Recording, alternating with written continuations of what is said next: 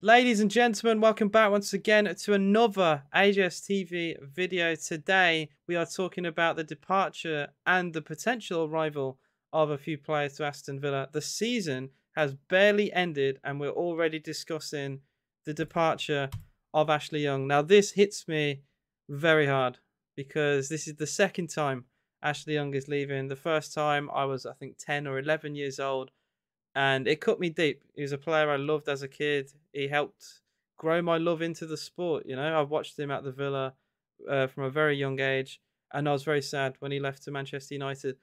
Um, when we announced that we signed him uh, back at Aston Villa as a defender from Inter Milan, I was very excited.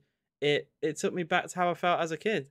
And last season he played 32 games, uh, way more than I think he expected to play for Villa and he was exceptional. Scored a great goal away at Nottingham Forest. I think he'll be truly missed at Villa. If you look into the replies on Twitter, a lot of people are upset, um, especially because he did a tweet saying he wanted to play in Europe like he did in 2010 with Aston Villa the last time he was here.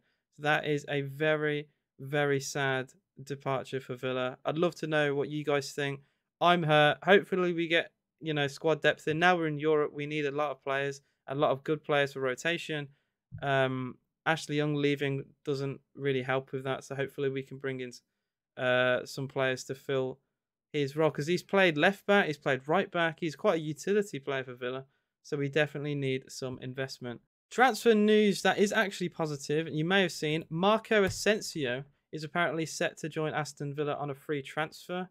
Um, Real Madrid, I'm, I'm very surprised actually to uh, to see him leave.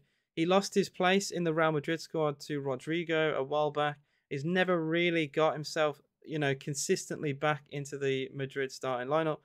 And I think it's one of the main reasons why he wants to leave. A lot of people are surprised uh, that he's choosing Aston Villa, but Unai Emery, just like Marco Asensio, is Spanish. And I think he has tried to put over the potential project that we have at Aston Villa. We're in the, the Europa Conference League. We could be pushing for top six you know, maybe a bit beyond that in a few years to come. So I think Marco Asensio is a fantastic signing. There's very little risk as well because with a free transfer, there's no there's no risk of spending money that we might not get back. You look at Coutinho, we spent roughly 20 million pounds on Philippe Coutinho, and we're not going to get well any resale back on that, I don't think. But with Asensio going on a free, I think it's fantastic uh, piece of business for Aston Villa and there's I, I don't think there's anything that could possibly go wrong. He's 27 years old.